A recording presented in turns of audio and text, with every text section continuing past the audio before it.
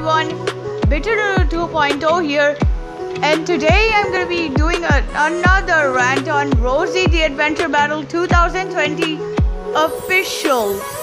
Well, uh, she changed her username to Rosie the FlipaClip Tube and Scratch Tube or whatever official.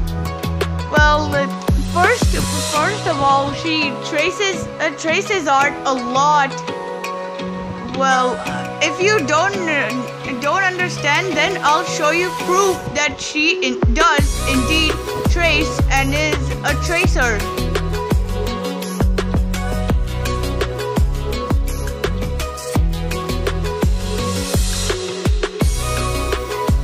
The only way I can classify her as a tracer and art thief is that she doesn't give credit to the original artist who uh, made all of these things.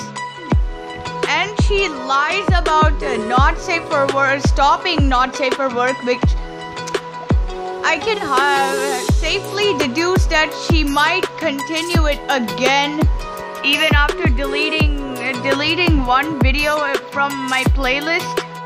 Well, you may be wondering, is Rosie Spanish? Or Swedish or English? Well, well, well, ho, ho, ho. I have to tell you this. Rosie is indeed either Spanish or Swedish. This is why uh, she had that bad grammar, which reminds me of Dolly the cat a lot.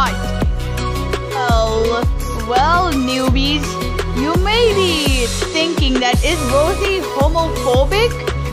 Well, the answer is yes, she is homophobic.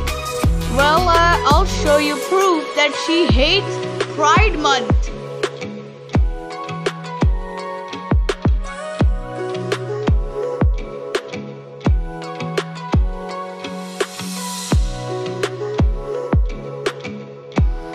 So, uh, she is, uh, this is proof that she's indeed homophobic and as an asexual person, I find it very disrespectful.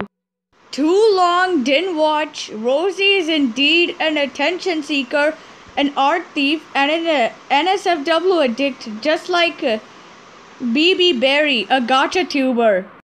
So this is the end of rant 5 on Rosie the Scratch Tube and FlipaClip Tube official. Bye!